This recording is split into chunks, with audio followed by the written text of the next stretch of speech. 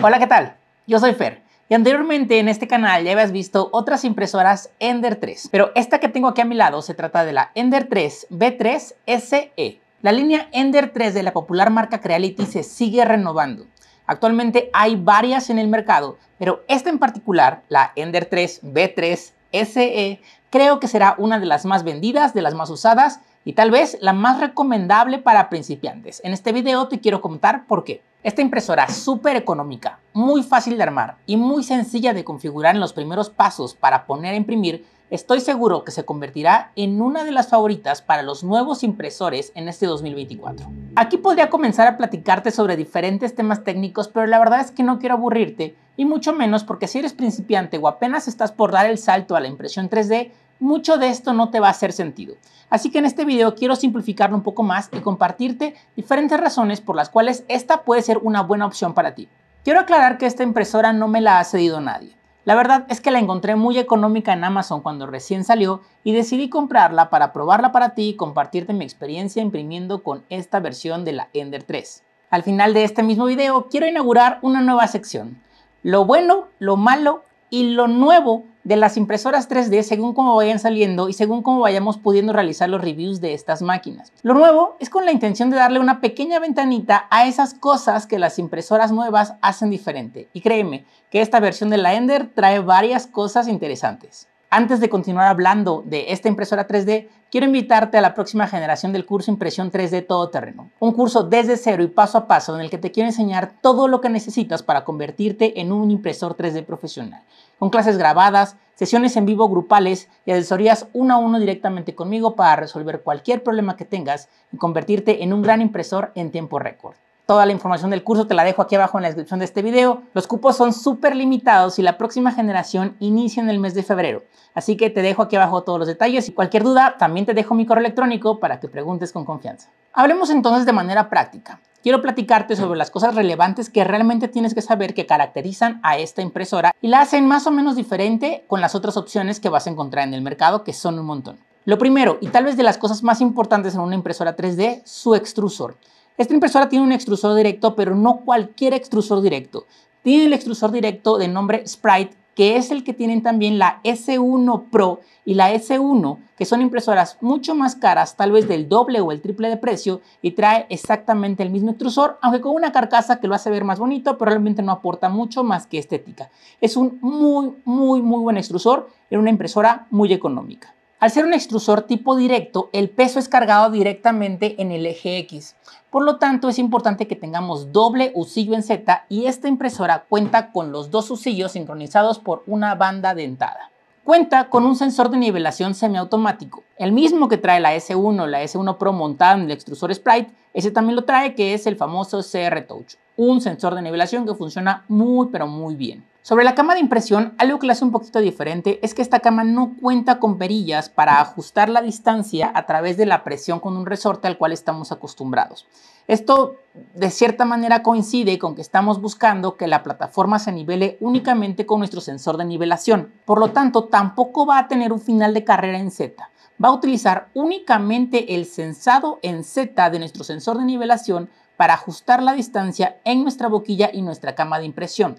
Digamos que reducimos la cantidad de variables, pero ya no tenemos control sobre el proceso de nivelación y creo que si no es todo perfecto va a ocasionar problemas. Pero quédate hasta el final que te voy a compartir mi experiencia con esta máquina. A mí en lo particular sí me gustan las perillas porque creo que puedo tener mucho más control sobre mi proceso de nivelación y de impresión 3D y ajustar cualquier error que pudiera existir. En este vamos a depender de dos ejes lineales que son a través de los cuales corre nuestro eje Y y aquí está el primer inconveniente.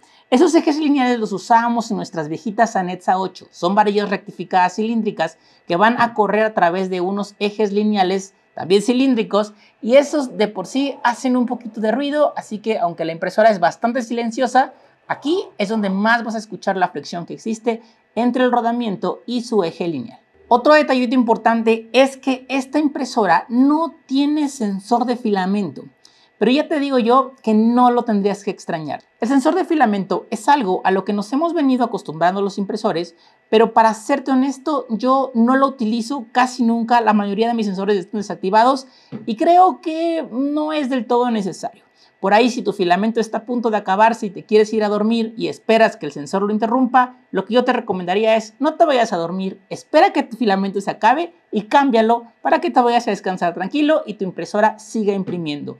No me gusta la confianza de dejar un filamento casi a punto de terminar con el sensor, pero esa es mi experiencia y obviamente hay usuarios que opinan diferente. Yo en lo particular te diría que no decidieras entre una u otra máquina en función de si trae o no un sensor de filamento. Volviendo a la parte caliente de nuestra impresora, nuestro fusor nos va a permitir alcanzar temperaturas de hasta 250-260 grados centígrados lo cual podría parecer mucho, pero te va a alcanzar apenas para imprimir los filamentos más básicos. Aunque si tú eres principiante, tienes que empezar a imprimir PLA, después PETG y después tal vez filamento flexible. Y en estos tres filamentos no vas a tener ningún tipo de problema para extruirlos con esta impresora 3D.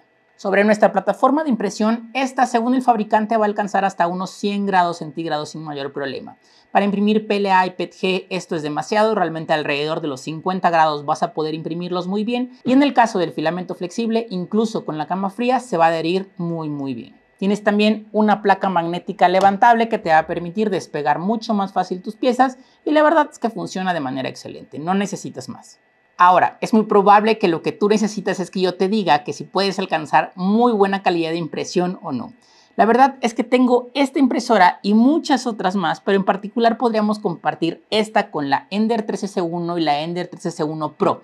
Las puedes buscar, el precio es realmente muy diferente. Y ya te digo yo que ajustando bien las configuraciones desde nuestro laminador, la diferencia es prácticamente nula vas a poder imprimir altísimas calidades de impresión con esta máquina y no vas a notar diferencia con otra impresora de una gama mayor.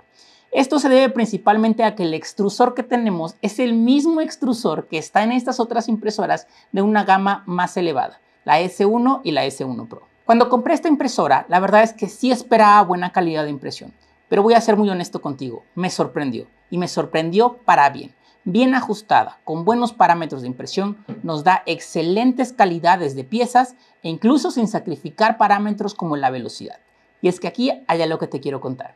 Esta impresora se anuncia como una impresora de alta velocidad. Incluso hay páginas en donde se presenta a velocidades de 300 milímetros por segundo y 250 milímetros por segundo.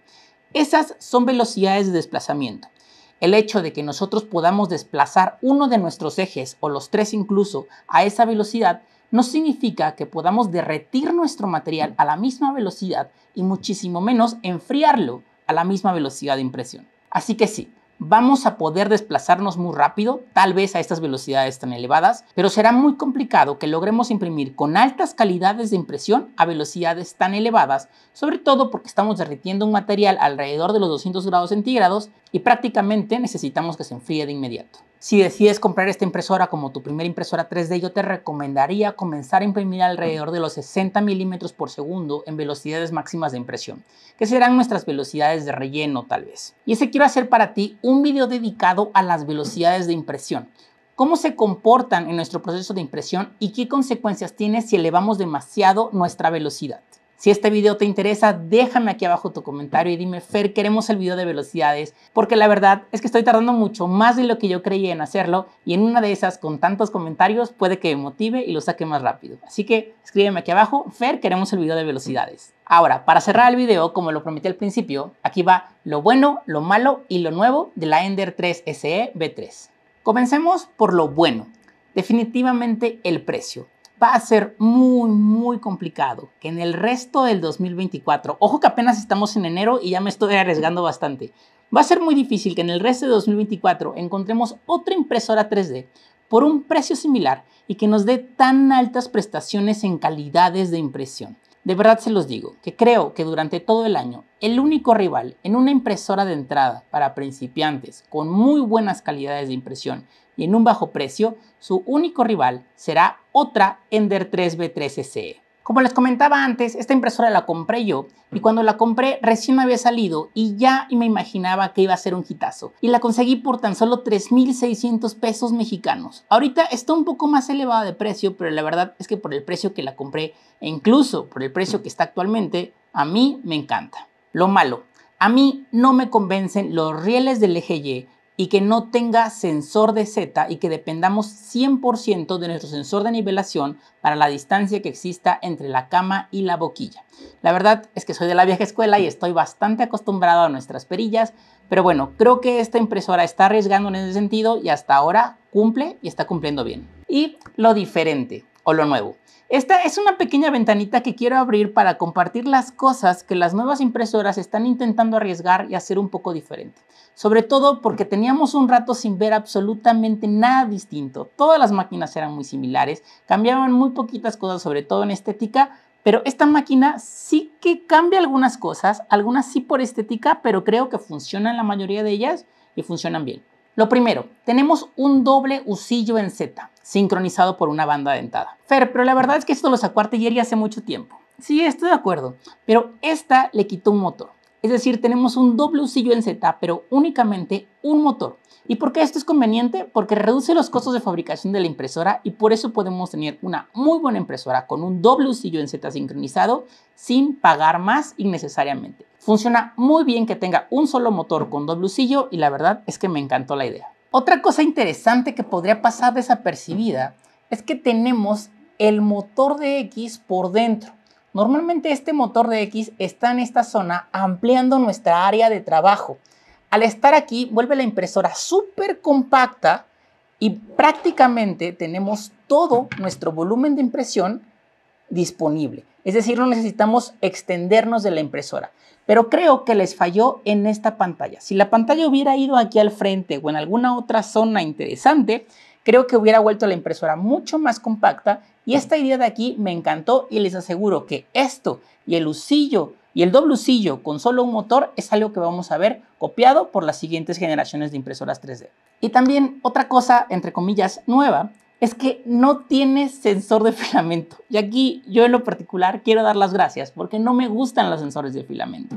Yo lo sé, algunos de ustedes les puede ayudar, pero creo que no del todo son funcionales. El sensor de filamento lo que hace es interrumpir o pausar nuestro proceso de impresión si ve interrumpida la línea de filamento. Si tenemos un filamento con humedad, por ejemplo, o un ambiente húmedo, y por ahí de repente en el transcurso de la impresión nuestra línea de filamento se rompe, pues nuestra impresión se verá pausada hasta que nosotros regresemos para reiniciarla. Pero necesitamos tener la suerte de que la línea de filamento se rompa antes del sensor de filamento. Si se rompe después, sin ninguna duda, nuestra impresión seguirá andando porque quedará por dentro de nuestro sensor todavía un pedacito de filamento. Y eso no es funcional. Y la segunda ocasión en la cual es muy usado el sensor de filamento es cuando a veces tenemos un rollo con poco material y queremos poner a imprimir y tal vez durante la noche sentimos que se podría acabar nuestro filamento y queremos que se pause. Bueno, si tú crees que durante la noche se puede acabar tu filamento, no te vayas a dormir. Te quedas ahí hasta que el filamento se termina o decidas cambiarlo antes de irte a dormir, pero por favor no hagas que tu impresión dependa de un sensor realmente pues sí sirve, pero a mí no me gusta. Perdón. Sé que a muchos de ustedes sí les funciona, a mí en lo particular no me gusta. A mí me gusta ser responsable de mi impresión, se los recomiendo muchísimo también. Sean responsables y estén muy, muy pendientes de que sus impresiones salgan bien, sobre todo la primer capa y de que el filamento siempre esté bien enrollado y esté fluyendo y muchas otras cosas más que les comento en el curso, pero que también se las comento en muchos otros videos aquí en este canal. Lo del filamento, por supuesto que es muy, muy personal. Entiendo que tú opines diferente. Si opinas diferente, déjalo aquí en los comentarios. Cualquier opinión siempre es bienvenida. Y bueno, esta sección de cosas nuevas, pues un poquito es en función de mi experiencia. Tal vez lo sacó otra marca hace una semana, pero a lo mejor yo no la vi. Si tú lo viste en otra máquina, también es bienvenida tu opinión, así que déjala por aquí. Pero bueno, solamente lo que yo veo en esta máquina nuevo o diferente comparado con otras máquinas que he probado. Ahora, debes comprarte esta impresora Siempre va a depender de ti, depende de tu presupuesto, depende de para qué la quieras, pero quiero decirte que es una impresora segura. Va a funcionar bien, te va a dar muy buena calidad de impresión. Eres principiante, no sabes por dónde comenzar, no estás muy seguro si es lo tuyo y quieres probar una máquina a lo mejor sin invertir demasiado, dale con esta. A lo mejor tienes muchas ganas de imprimir, sabes que es lo tuyo, quieres trabajar, pero tal vez no tienes mucho presupuesto, dale con esta, no te vas a arrepentir. Es una muy, muy buena máquina y bueno, tal vez están preguntando que por qué la compré yo y no esperé que alguien me la cediera para hacer la revisión. La compré porque justamente le veía muchísimo potencial, la encontré muy muy económica y sobre todo porque sí pensé y me imaginé que muchos de ustedes iban a comenzar con esta impresora. Y en este canal quiero seguir creando contenido para los nuevos impresores 3D y estoy muy seguro que muchos usuarios en 2024 van a empezar con esta impresora y por supuesto que quería tenerla, quería probarla durante bastante, bastante tiempo y bueno, pues aquí la tienen, la Ender 3B3S. Antes de terminar el video quisiera hacer un pequeño paréntesis y es que esta impresora la estuve probando durante bastante tiempo y ya tenía muchas ganas de grabar este video, no lo había grabado por diferentes razones y es uno de los últimos videos que grabo aquí en este espacio. Pero desafortunadamente a la hora que empecé a grabar este video me di cuenta de que muchas de las piezas que había grabado con esta impresora ya están guardadas atrás de la cámara en un montón de cajas. No quise sacarlas, la verdad es que no, voy a decir que no pude porque supongo que se puede abrir una caja, no quise hacerlo, estoy muy cansado de la mudanza y no quiero abrir nada que ya esté cerrado. Les prometo que les subiré nuevas imágenes en mi Instagram sobre los resultados de esta impresora y que seguiremos trabajando con ella, sobre todo en nuestro video de velocidades de impresión. Así que los veo en un próximo video. Yo soy Fer, muchísimas gracias por estar por acá. Inscríbanse al curso. Nos vemos muy pronto. Cualquier duda que tengan, abajo en los comentarios. Chao, chao.